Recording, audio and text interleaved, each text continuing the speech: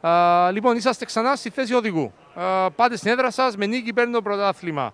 Πόσο αισιόδοξος είστε ότι θα καταφέρετε να κάνετε την ανατροπή στην τελική φάση; Εντάξει, στην τελική κάναμε απλά το 1-1. Ε, σίγουρα δεν ήταν η εικόνα μας του πρώτου, του πρώτου παιχνιδιού, δεν ήμασταν καλοί.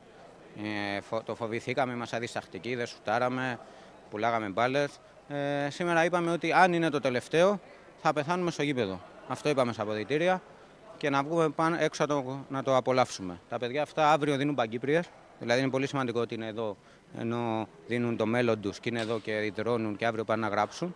Ε, θα κάνουμε τα πάντα για να κάνουμε το 2-1 παραπάνω για τον εαυτό μας. Γιατί γουστάρουμε που είμαστε εδώ. Πού πιστεύεις θα κρυθεί ο τρίτος τελικός στην έδρα σας, Σίγουρα τα rebound. Τα παιδιά είναι έμπειρα, παίρνουν πολλά rebound. Ε, κάναμε καλά η δουλειά σήμερα, κάναμε block out.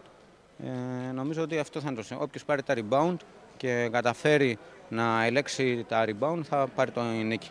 Coach, είσαι έμπειρος, έχεις δουλέψει σε αρκετές ομάδες και στην Ελλάδα και στην Κύπρο.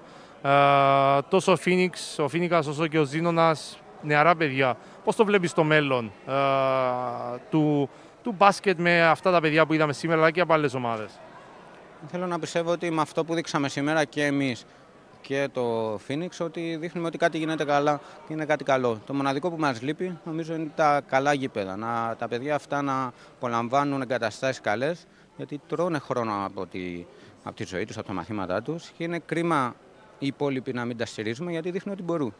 Δεν ξέρω αν, μπο, αν, μπο, αν είναι θέμα ομοσπονδίας, κόα ή οτιδήποτε. Θέλω ότι αυτά τα παιδιά δίνουν, δίνουν, προσπαθούν και υδρώνουν όλα σε όλη την Κύπρο και υπάρχει βελτίωση. Άρα οι εθνικές ομάδες σύντομα θα είναι πάλι πάρα πολύ καλές. Ευχαριστώ πολύ και καλή επιτυχία να σου ευχηθούμε.